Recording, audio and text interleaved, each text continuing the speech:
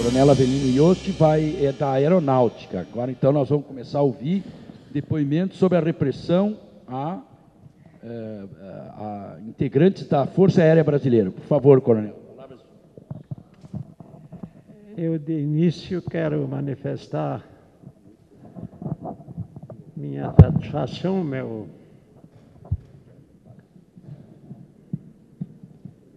levando em conta que a, a comissão está apurando e, e pretende deixar registrada alguma coisa que venha contribuir com a nossa história.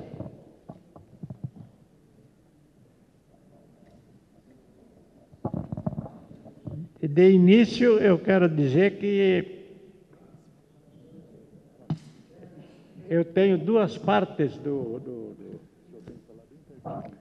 tenho duas partes do meu depoimento em que eu faço referências e que vão surgir é que eu fui caçado duas vezes. Uma vez já antes de 1964. Aconteceu o seguinte.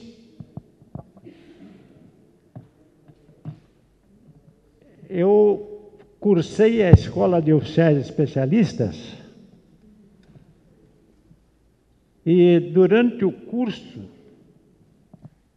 houve um acontecimento em que, por ter feito declarações que não agradaram, nós tivemos na, na aeronáutica duas tentativas de golpe. Jacareacanga e Agaracarças. A Jacareacanga, que era recente, coincidiu com o término do curso de oficial especialista que eu estava terminando em 79. Era uma festa, aniversário de um colega, e eu fiz uma declaração que de início eu não senti mais. Festa, alegria, vinho e. Eu disse que era muito importante estar presente na, na festa de aniversário do Goianho um oficial que, por certo, terá sua sua índole formada como deve ser, como aço das nossas espadas, não como esta desordem que está ocorrendo aí. E a desordem que tinha ocorrido há poucos dias era de Jacareacanga. Terminou a festa, eu fui para casa e no dia seguinte nós estávamos realizando a seleção dos candidatos. Nós queríamos ter, então, cada um seu paraninfo, né? O, o, grupo maior aderia ao Juscelino Kubitschek, que era o presidente, e te manifestou. Eduardo Gomes teve 17 votos apenas. Eu fui escolhido pela tropa, pela, pelos alunos do, do curso, como secretário. Fiz, lavrei a ata, todos assinaram, como se procede com a ata. Fui embora. Não foi longe, não lembro se foi no mesmo dia, mas foi logo após. Eu fui chamado no gabinete do comandante do corpo de alunos. Era um oficial lacerdista e era evidentemente um dos que futuramente se tornaram golpistas. Né? Ele mandou me chamar e diz: Olha, aconteceu uma coisa que não, não deve acontecer. nós não devemos menosprezar o nosso brigadeiro. capitão, mas eu não, não vejo onde nós tenha. É, mas vamos anular esta, esta, esta ata e nós vamos fazer outra. E vamos botar as coisas no lugar. Ele disse não pode contar comigo. Então, que papel eu fiz? Lavrei uma ata, fui escolhido por unanimidade e a ata provou que o candidato eleito é um e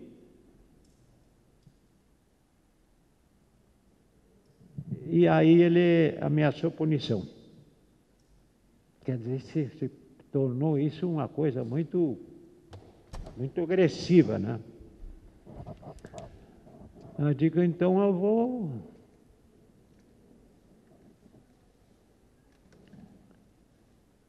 Eu tenho lapsos de memória. De qualquer forma, eu estava convicto de que o que eu tinha feito estava certo, não devia anular e não ia anular.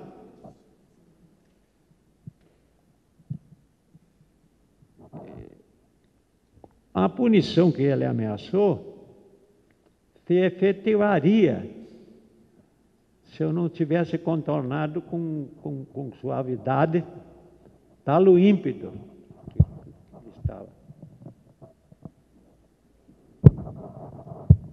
E,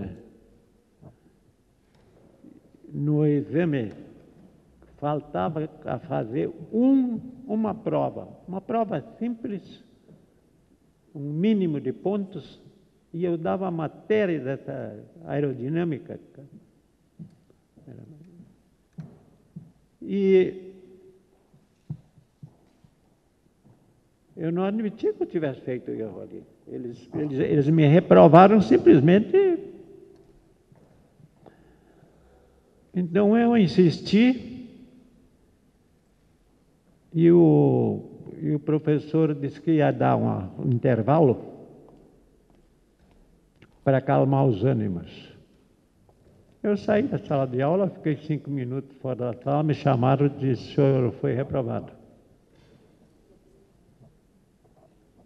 Eu digo, mas não, não concluí ainda. Ainda está no quadro o problema. Não, não está pronto ainda. Durante esta ausência, um dos oficiais teria dito: não, não, não pune coisa nenhuma. A pulga se mata assim mostrando com a unha dos polegares como é que se mata uma pulga. Reprova ele, acabou. Reprovou, eu saí, pedi licença, me afastei. E o comandante do corpo de alunos voltou a falar comigo e eu, eu disse para ele, eu desejo pedir renovação, pedir prova. Quero confirmar essa prova, eu não, não concluí a prova. Ele não admitiu.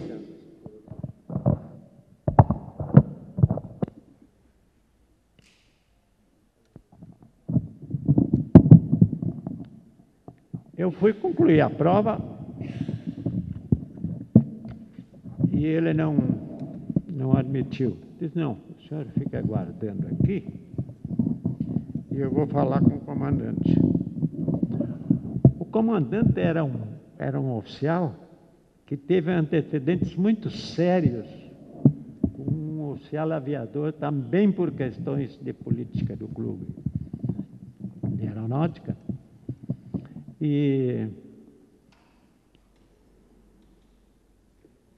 e esse comandante disse para ele que ele não ia dar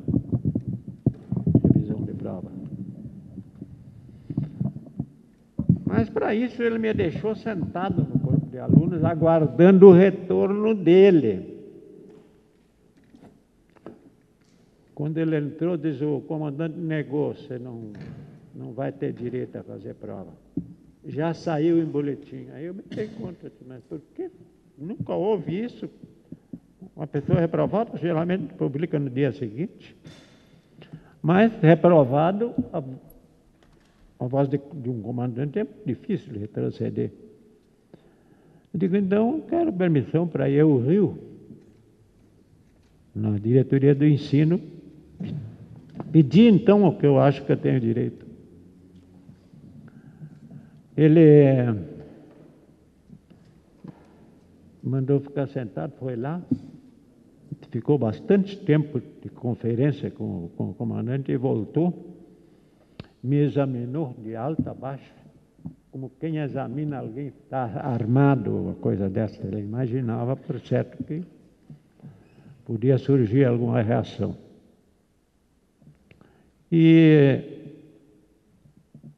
com essa atitude dele, ele voltou lá e me levou lá para apresentar para o comandante. Eu entrei.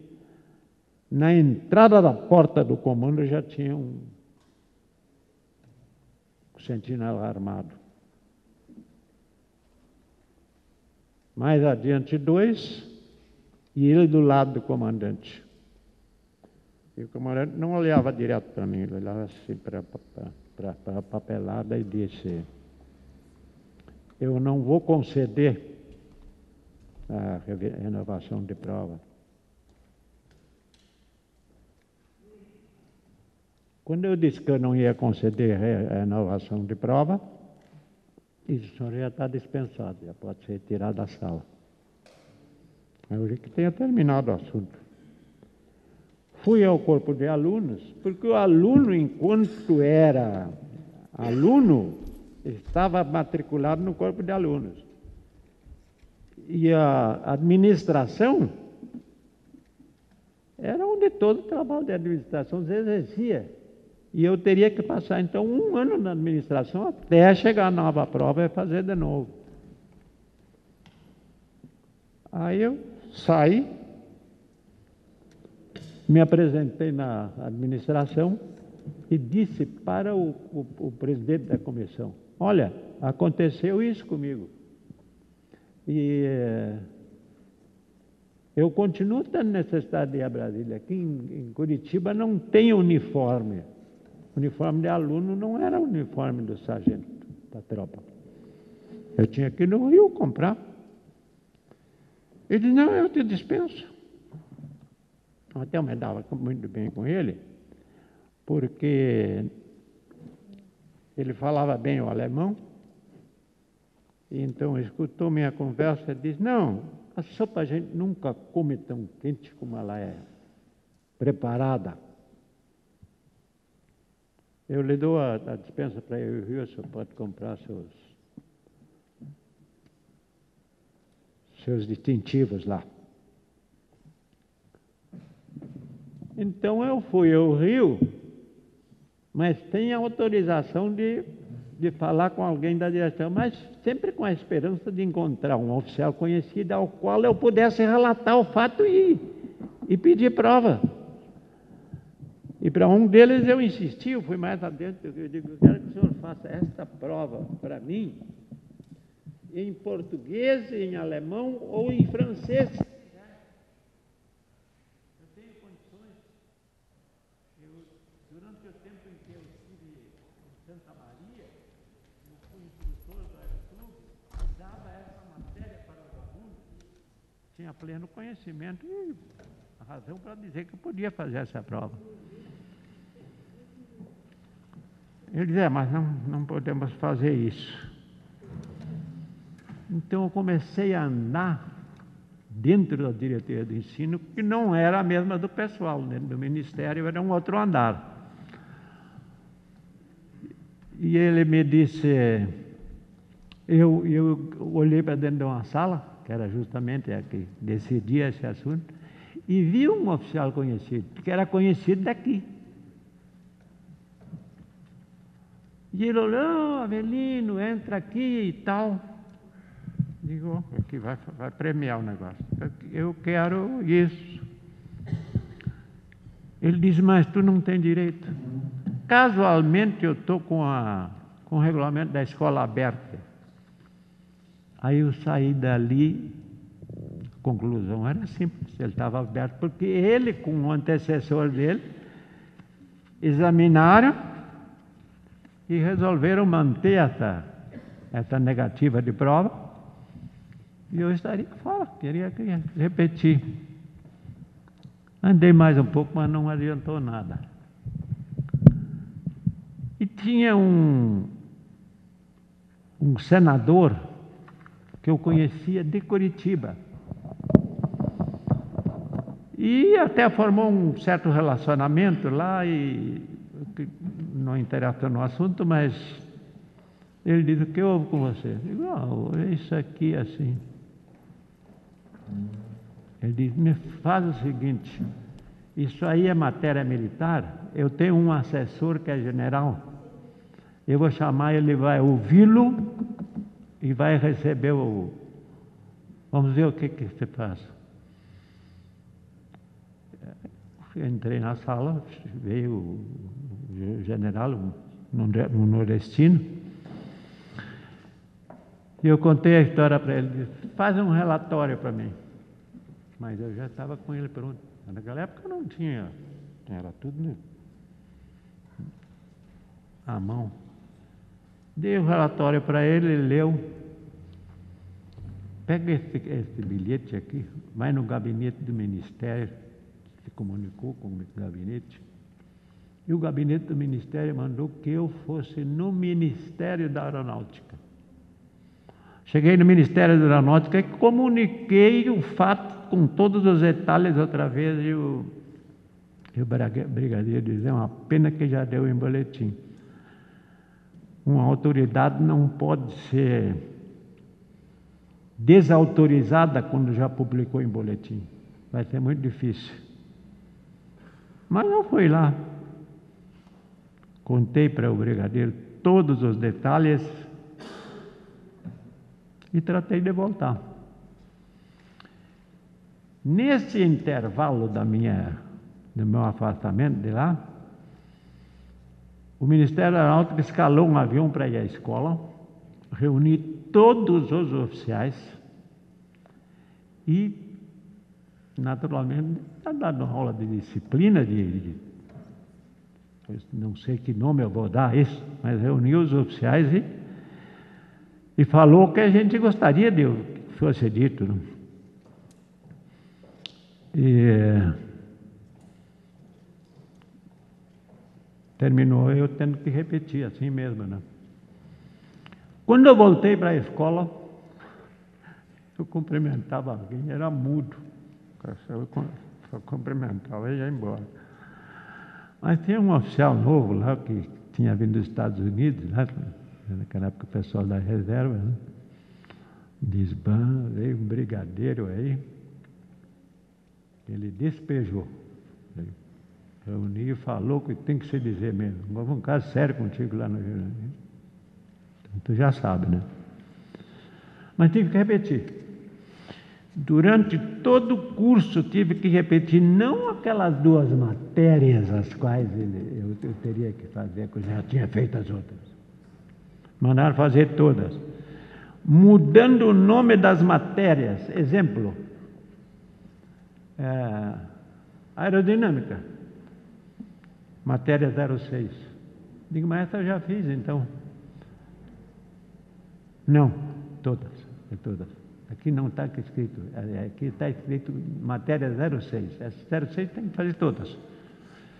Olha, com tanto rigor que um oficial fez uma prova, Major Cavalinho, a maioria dos oficiais eram é, adeptos do, do, do, do, que queriam mesmo que eu, que, eu me levasse, levasse a breca, não? E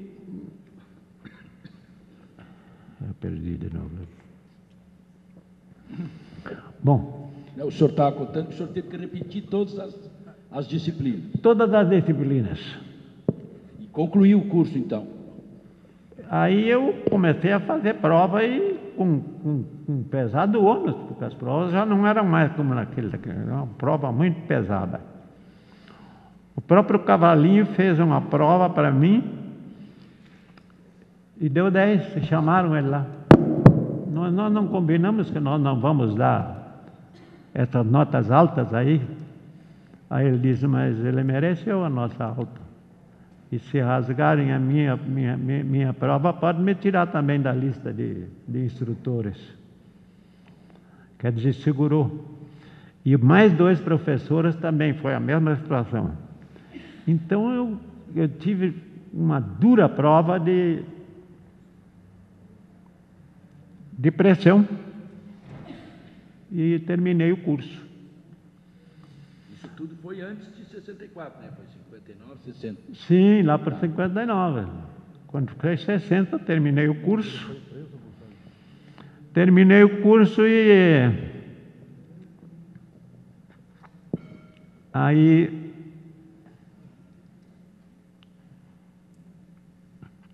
É, 69 eu terminei o curso e, e, e, fui classificado em Porto Alegre. Por escolha. Porto Alegre tinha vaga e eu tinha nota boa, escolhi Porto Alegre. Quando eu chego em Porto Alegre, quem está comandando a sessão com a qual eu ia trabalhar era uma galhense. O homem fera que queria, queria me, me atorar no meio. Aí eu digo, mas é, é, é ruim para mim, mas não. Aquele mesmo oficial. É, não sei como ele conseguiu, mas é um major dentro de, um, de, uma diretoria de ensino, ele tem muita autoridade, né? Ele pediu para ir para Canoas, foi para Canoas, e pediu para o comandante para ir para o suprimento de manutenção, porque eu ia para lá, e foi para lá. E todos os dias ia comigo, acompanhando na hora do meio-dia, né, o tempo que ele tinha para nós conversarmos. E ele foi conversando e, e naquela época o Jânio o Jânio tinha tido aquele ele usou uma expressão lá e, e, e aquilo foi, como é que se diz, considerado agressiva ao, ao, ao pessoal deles lá. E o Jânio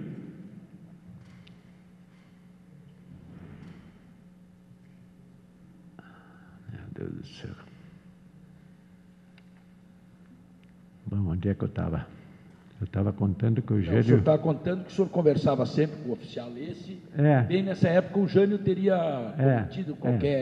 aí, o, aí, o, aí o Jânio usou uma expressão lá e, e ele veio para mim e desancou em cima do. Criticou mesmo o presidente da República. Isso não é permitido, um oficial não pode criticar o, o presidente da República.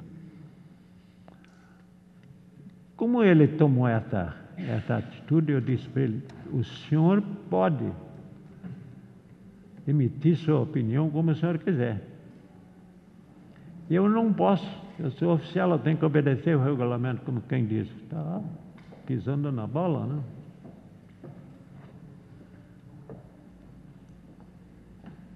Se carregou ainda mais e mandou andar. Isso aí criou um, um, um, problema que durante o curso se repetiu com mais dois oficiais e os dois, um foi um professor, a mesma coisa. O professor Chamek dava resistência dos materiais e ele deu uma nota lá e mandaram ele baixar a nota. Ele disse: É melhor nós fazer o seguinte: eu peço para sair daqui da escola, porque eu dou aula há 15 anos na escola de engenharia e essa é a minha matéria. Eu gosto dela.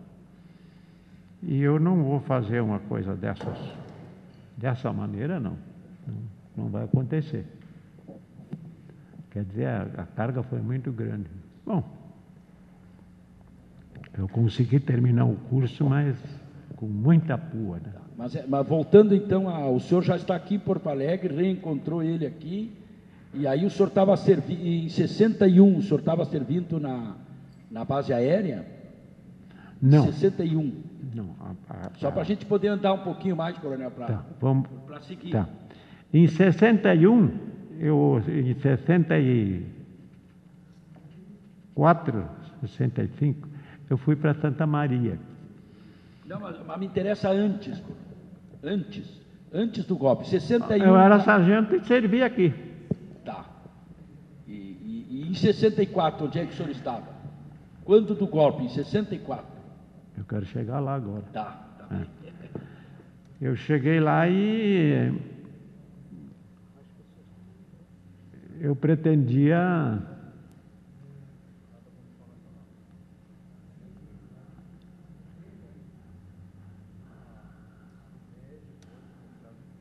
É. Eu cheguei lá e queria. e- e- e-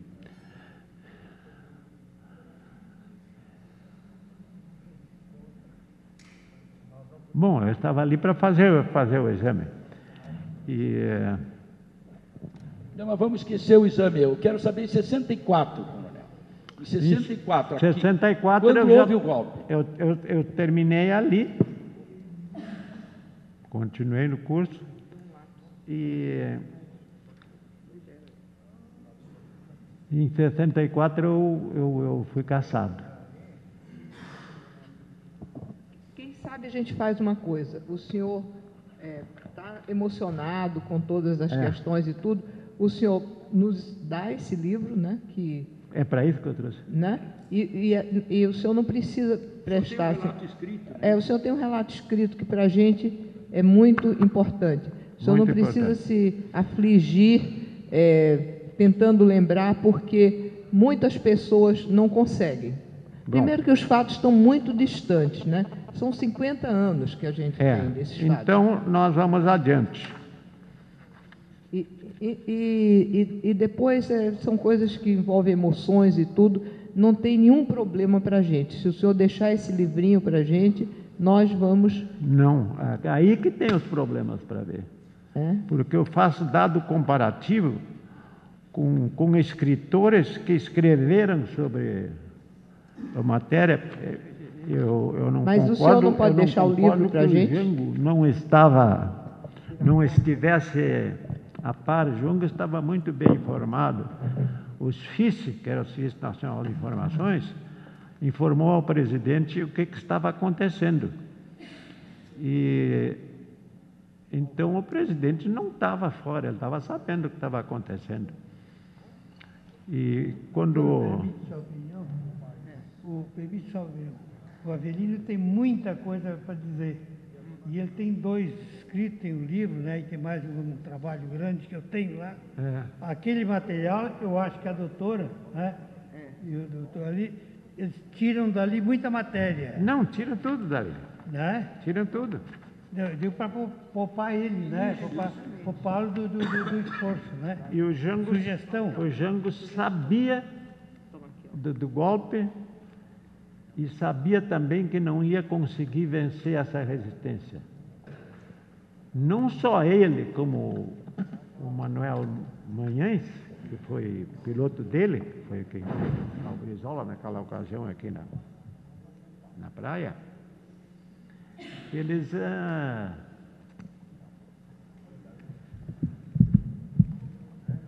Mas isso, isso não está no, no seu livro? Tá. Tá, Tá, né? tá, tá. Eu acho que tá. Tem muita matéria. Muito importante. Não, mais, não, mais importante não está. O mais importante está aqui. Para fazer um, um resumo, quem sabe? Lá, sugiro. pelas tantas, não consegui a minha. A minha, meu requerimento é do, do ano 2000 e está ainda da comissão de anistia, não, não saiu nada. Eu, eu requeri, era naquela época o ministro Nelson Jobim, que era o, o oficial lá da.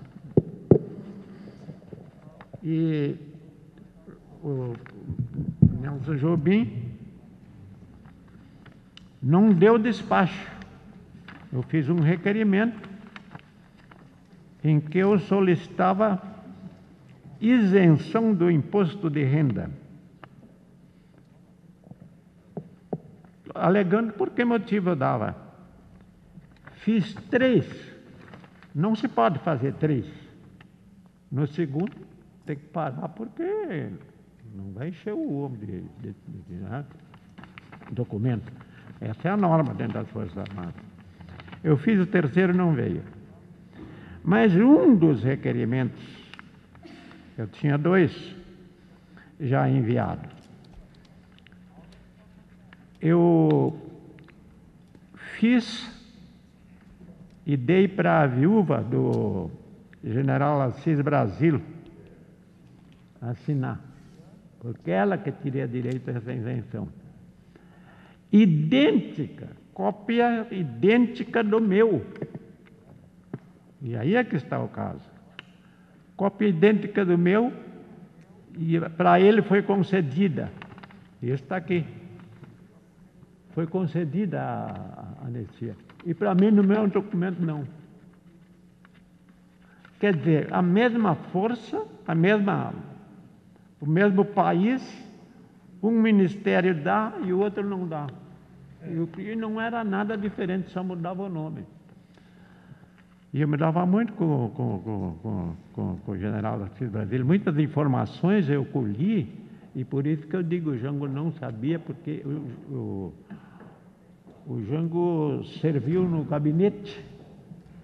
Inclusive estava presente, presente quando. Eu creio que foi o Gordon que entrou no gabinete e, e reclamou a atitude do, do, do governo sobre assunto que ele não devia fazer, ele sabia disso. Então,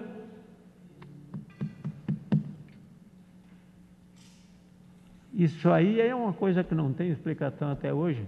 E eu hoje sou isento, não porque eu, eu satisfizesse ou eles voltaram atrás. É por causa disso aqui. Quer dizer, eu sou. Tenho, tenho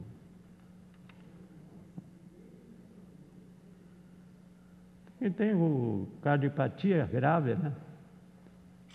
E marca passo. Então eu. Pois é, eu acho, acho que essa, viu, Eu acho que essa é a é a preocupação da doutora Rosa é. em abreviar a sua fala, porque a ideia está dada, a, a, a, a revolta está registrada, né, é, doutora? Claro. E o, o, os desmandos que nós sofremos desde antes até de 61, que já quando ele era aluno, é. estão aqui registrados. Isso aqui vai ficar com a, com a doutora. Deixa eu ver. É. Isso, isso aqui vai ficar... tudo junto? É, é isso aqui? Porque como tem nomes ali, pode puxar, não é? Sugiro eu. Não sei se estou me metendo. Não, não, não. não. É? Ajudou a organizar. Não, que isso. E isso, isso aí é para a doutora? É. é vai para o registro histórico da estadual e da federal isso. também. É. Né? é. Aí tem toda. toda... É, e, é, e é bom explicar para o coronel Avelino e para as outras pessoas que estão aqui que todo esse material que os senhores estão nos entregando aqui, assim como os documentos, os depoimentos é, que serão digitalizados, né? Tudo isso será comporá duas vias. Uma via ficará, vai para a Comissão Nacional da Verdade, que entregará a presidente da República, que vai determinar o seu arquivamento no Arquivo Nacional, órgão do Ministério da Justiça. E a outra via integral de tudo, por exemplo, que o capitão, uh, que o capitão Almoré nos deixou aqui, que o coronel Avelino está nos entregando, será entregue ao governador que vai determinar ser, que vai ser depositado no arquivo público do Estado. Isso quer dizer que a partir de dezembro desse ano, a partir de janeiro do ano que vem, todos esses depoimentos, todos esses documentos sobre a história de perseguição que cada um dos senhores passou, estará registrado e à livre disposição dos estudantes, dos estudiosos, dos jornalistas e da população em geral. lá no Arquivo Nacional em Brasília e aqui no Arquivo Público do Estado. Por isso eu lhe agradeço muito, na minha parte, a sua presença. Eu reconheço a importância desta comissão. Muito obrigado.